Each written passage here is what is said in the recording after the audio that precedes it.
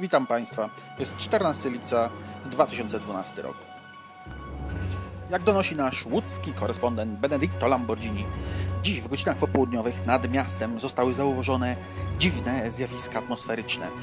Prawdopodobnie jest to test tarczy antybakteryjnej, która została rozpostarta nad y, szklarniami janowskimi, które słyną z produkcji ogórka. Rodzi się pytanie, czy będziemy mogli jeść ogórki bez kurki?